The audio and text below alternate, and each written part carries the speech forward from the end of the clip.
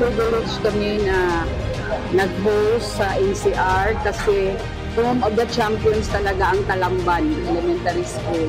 Discipline talaga Ayun, ang discipline. Coaches, Yung athletes. yung mga athletes, lahat-lahat sila.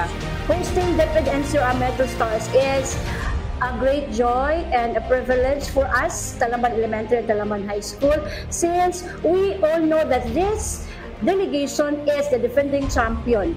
We have prepared a lot for you. That's why we are very busy starting January, I guess because we all know that this delegation is the prime delegation and the best. And we are very proud to tell everybody from the district office of Cebu City that we are deleting the best delegation.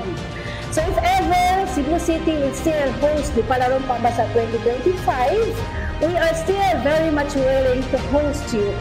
I wish you and I know that you will still be the, the champion for this Palarong Pambansa 2024. Go for gold, NCR! One NCR!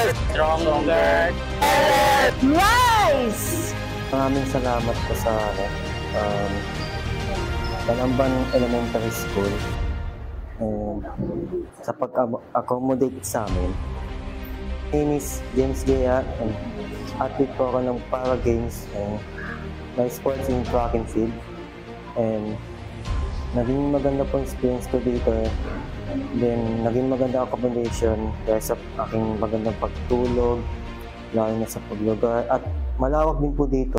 At naging maganda, at naging factor po ito pang makapag-silver po ako sa 400 meter 400 meter dash then nakapag third din po ako sa 200 meter kaya naghang salamat Talambang Elementary School.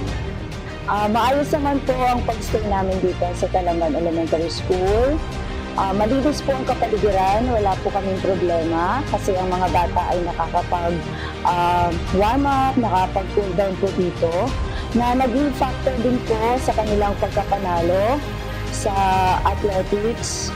So, dahil doon, kami po ay nagpapasalamat sa Talamban Elementary School. Daghang salamat, Talamban Elementary School.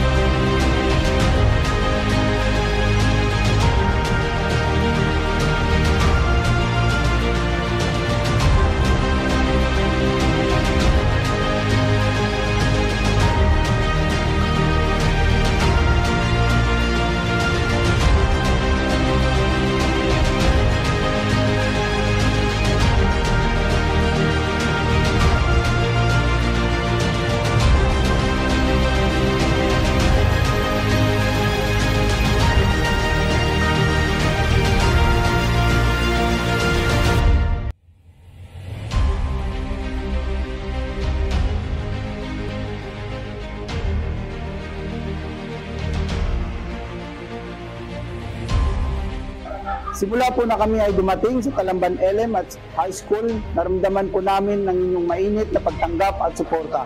Sa lahat ng bumubuo ng Talamban LM at High School, dagan salamat.